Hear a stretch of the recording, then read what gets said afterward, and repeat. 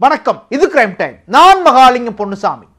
தஞ்சை மாவட்டத்தில் நுகர்பொருள் வாணிப கழக குடோன்களில் இந்திய உணவுக் கழக அதிகாரிகள் நடத்திய சோதனையில் தொண்ணூத்தி ரெண்டு டன் ரேசன் அரிசி கெட்டு போனது கண்டுபிடிக்கப்பட்டிருக்கிறது.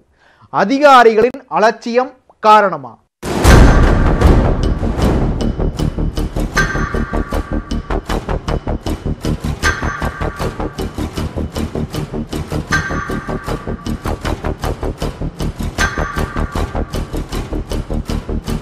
நியாய விலை கடைகள் மூலம் பொதுமக்களுக்கு விநியோகிக்கப்பட இருந்த தொன்னூற்றி இரண்டு டன் கெட்டுப்போன அரிசி இந்திய உணவுக் கழக அதிகாரிகளால் கண்டுபிடிக்கப்பட்டுள்ளது. அலட்சியமாக செயல்படும் அதிகாரிகள் மீது நடவடிக்கை பாயுமா?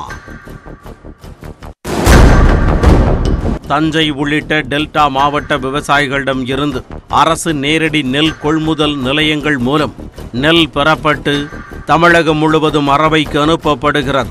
கொள்முதல் செய்யப்படும் இந்த நெல் தமிழகத்தில் உள்ள இருபத்தோரு அரசு அரவை ஆலைகளுக்கும் நானூற்று எழுபத்து நான்கு தனியார் அரவை ஆலைகளுக்கும் ரயில்கள் மூலம் அனுப்பப்படும். அதன்படி தஞ்சாவூர் மாவட்டத்தில் உள்ள முப்பத்து நான்கு அரவை ஆலைகளுக்கு கொள்முதல் செய்யப்பட்ட நெல் மூட்டைகள் அனுப்பப்பட்டன.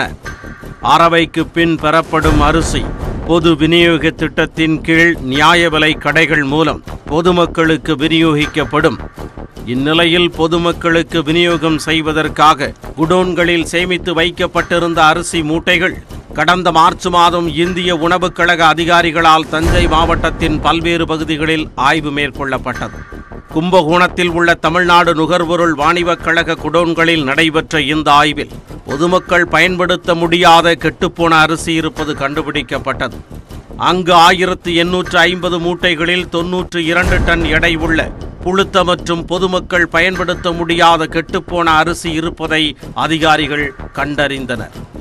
இந்த ஆய்வில் ஐந்து புள்ளி இரண்டு பூஜ்ஜியம் சதவிகிதம் சேதமடைந்த அரிசிகளும் ஏழு சதவிகிதம் புழுத்த அரிசிகளும் இருப்பது தெரிய வந்துள்ளது இந்திய உணவு சட்டத்தின்படி ஐந்து சதவிகிதத்திற்கு மேல் பாதிப்பு இருக்கக்கூடாது என நிபந்தனைகள் உள்ள நிலையில் ஐந்து புள்ளி இரண்டு பூஜ்ஜியம் சதவிகிதம் பாதிப்பு கண்டறியப்பட்டுள்ளதால் பொதுமக்கள் பயன்பாட்டிற்கு தடை விதிக்க கோரி நுகர்பொருள் வாணிபக் கழகத்திற்கு உத்தரவிடப்பட்டது. இது தொடர்புடைய அதிகாரிகள் மீது நடவடிக்கை எடுத்து அறிக்கை அளிக்குமாறும் இந்திய உணவுக் கழகம் தமிழ்நாடு நுகர்பொருள் வாணிபக் கழக முதல்நிலை மண்டல மேலாளர் உமா மகேஸ்வரிக்கு உத்தரவிட்டது. அதன்படி தஞ்சையில் உள்ள இரண்டு அரவை ஆலைகளுக்கு விளக்கம் கேட்டு நோட்டீஸ் அனுப்பப்பட்டுள்ளதாகவும் அவர்கள் கொடுக்கும் விளக்கத்தை பொறுத்து துறை ரீதியான நடவடிக்கை எடுக்கப்படும் என்றும் உமா மகேஸ்வரி தெரிவித்துள்ளார். குவாலிட்டி ஸ்டாண்டர்ட் பொறுத்தவரைக்கும் சில நாம்ஸ் இருக்குங்க. சரிங்க மேடம் அந்த வித் இந்த நாம்ஸ்ல டிஸ்கலர் இவ்வளவு இருக்கலாம் இவ்வளவு டேமேஜ் இருக்கலாம் அப்படின்னு சொல்லிட்டு இருக்குது.